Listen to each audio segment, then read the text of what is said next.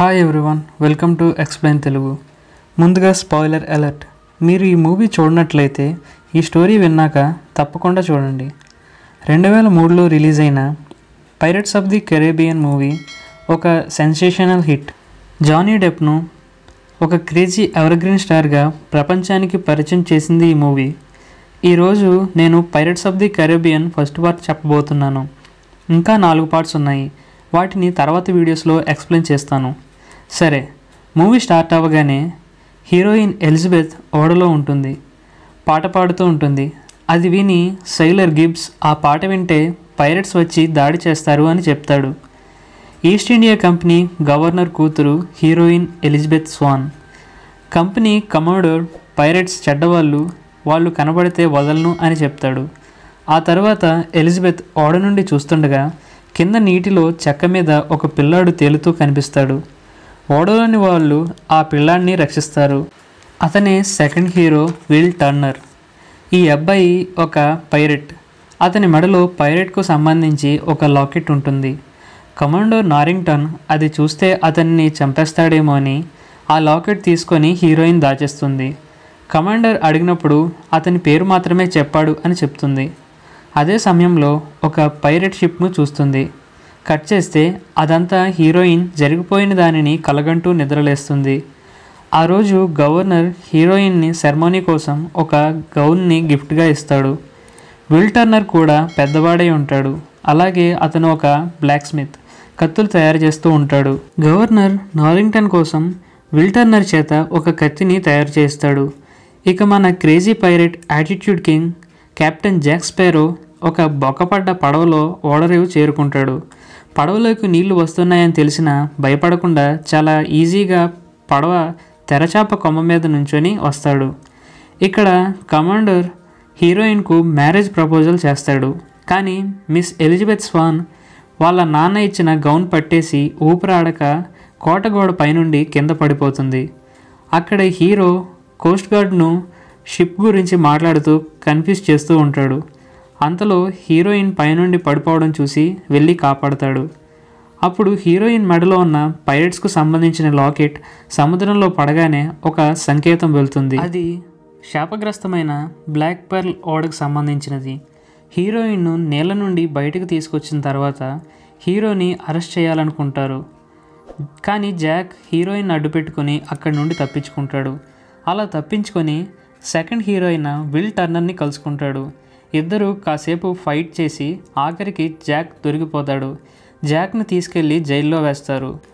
ఆ రోజు రాత్రి హీరోయిన్ అండ్ పని మనిషి పెళ్ళి గురించి మాట్లాడుతూ ఉండగా శాపానికి గురైన బ్లాక్ పర్ల్ ఓడ ఇంకా అందులోని పైరెట్స్ ఆ లాకెట్ కోసం అక్కడికి వస్తారు.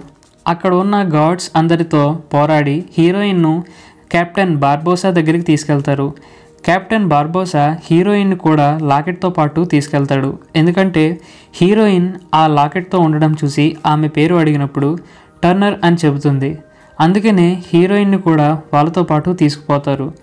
ఆ తర్వాత రోజు విల్ టర్నర్ హీరోయిన్ను తీసుకొని రావడానికి కమాండర్ నారింగ్టన్ని కలుస్తాడు. కానీ కమాండర్ టర్నర్ని అంతలా ఇష్టపడడు. ఎందుకంటే హీరోయిన్ టర్నర్ని ఇష్టపడుతుందని. అప్పుడు విల్ జాక్ సాయం కోరతాడు. విల్ జాక్ను జైలు నుండి తప్పిస్తాడు. ఇద్దరూ కలిసి అక్కడి నుండి తప్పించుకొని ఒక ఓడ సెలెక్ట్ చేసుకొని దానిని హైజాక్ చేస్తారు. జాక్ చాలా తెలివిగా ఒక ఉపాయం ఆలోచిస్తాడు. నారింగ్టన్ జాక్ను విల్ను పట్టుకోవడానికి వేగంగా ఇంటర్సెప్టర్ ఓడతో అక్కడికి వచ్చినప్పుడు అందరూ వాళ్ళను వెతకడానికి ఈ ఓడ వైపు ఎక్కితే జాక్ అండ్ విల్లు కమాండర్ ఉన్న ఓడలోకి పారిపోతారు. వెంటనే ఇంటర్సెప్టర్ ఓడను తీసుకొని అక్కడి నుంచి వెళ్ళిపోతారు. జాక్ విల్లుతో వాళ్ళ నాన్న గురించి చెప్తాడు.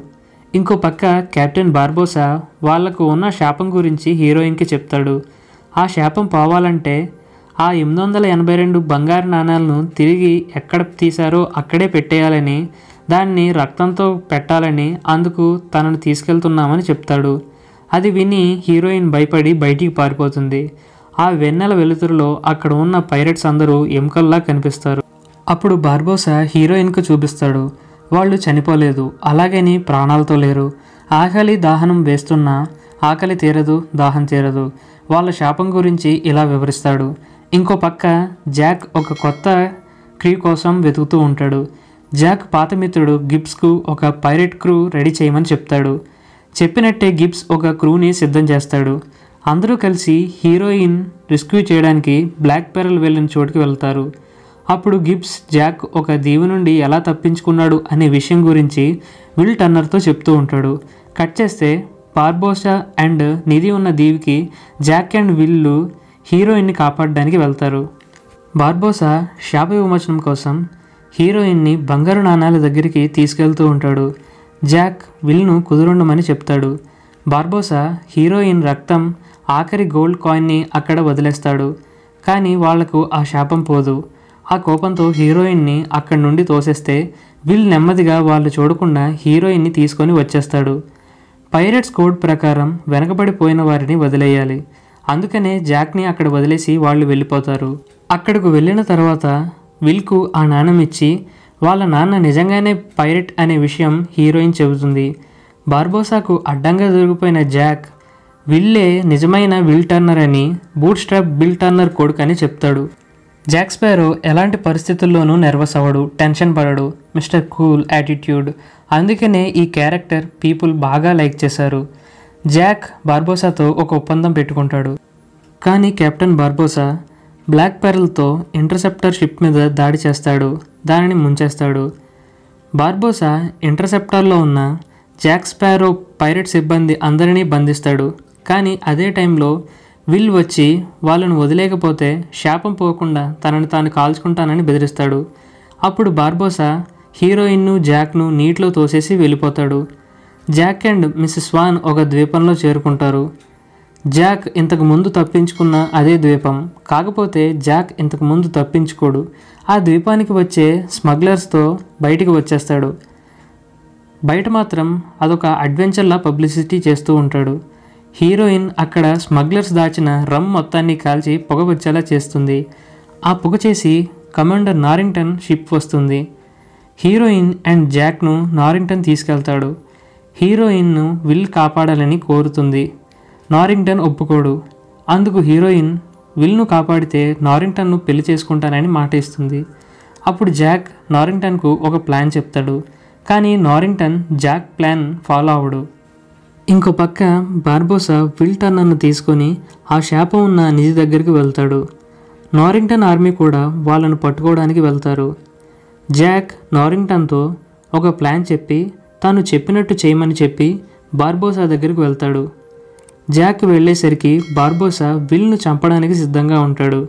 అది చూసి జాక్ బార్బోసాను మాటల్లో పెట్టి అక్కడ ఉన్న నాణాలలో ఒక దాన్ని దొంగలించి శాపం పొందుతాడు. కానీ అది బార్బోసా గ్రహించడు.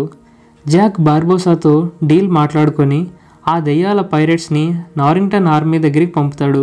ఇలా జాక్ అందరినీ మాటలతో మడతెట్టేస్తూ ఉంటాడు. ఈ దెయ్యాల ఆర్మీ బార్బోసాను వదిలేసి షిప్లను దొంగలించడానికి వస్తారు. ఇక్కడ జాక్ తన ప్లాన్ అప్లై చేస్తాడు. వాళ్ళందరూ ఒకరినొకరు కొట్టుకుంటూ ఉంటే ఇక్కడ విల్ టన్నర్ను కాపాడి బార్బోసాను శాపం నుండి విడిపించి తనను మోసం చేసినందుకు బార్బోసాను చంపాలని అనుకుంటాడు. అదేవిధంగా వాళ్ళందరూ వెళ్ళిపోయాక బార్బోసాతో ఫైట్ చేస్తూ ఉంటాడు. ఇంతలో విల్కు సహాయం చేయడానికి మిస్ వ్యాన్ అక్కడికి వస్తుంది. అనుకున్నట్టే జాక్ నాణం విల్ నాణం రక్తంతో కలిపి మొత్తం నిధిలో పాడేస్తారు. దీంతో అందరికీ శాపం పోతుంది. వెంటనే జాక్ బార్బోసాను షూట్ చేస్తాడు. దాంతో బార్బోసా చనిపోతాడు. అక్కడే ఉన్న మిగిలిన పైరట్స్ బ్రిటిష్ ఆర్మీకి దొరికిపోతారు. జాక్ను కూడా బ్రిటిష్ వాళ్ళు తీసుకెళ్ళి మరణశిక్ష వేస్తుండగా విల్ జాక్ను రక్షిస్తాడు. అలాగే హీరోయిన్ కూడా. జాక్ వాళ్ళను మాటల్లో పెట్టి గోడపై నుండి కిందికి దూకేస్తాడు. అండ్ అలాగే విల్ అండ్ ఎలిజబెత్లు ఒకటవుతారు. జాక్ కోసం గిబ్స్ అండ్ మిగతా పైరెట్స్ బ్లాక్ పెర్ల్ ఓడతో బయట వెయిట్ చేసి జాక్ను ఓడలోకి లాగుతారు. ఆ వెంటనే జాక్ సెకండ్ జర్నీ స్టార్ట్ చేస్తాడు. ఫ్రెండ్స్ మీకు ఈ వీడియో నచ్చితే లైక్ చేయండి. మరిన్ని ఇంట్రెస్టింగ్ మూవీ అప్డేట్స్ కోసం మన ఛానల్ని సబ్స్క్రైబ్ చేయండి. మీకు తెలిసిన ఇంట్రెస్టింగ్ మూవీస్ని కింద కామెంట్ చేయండి. Thank you guys thank you for watching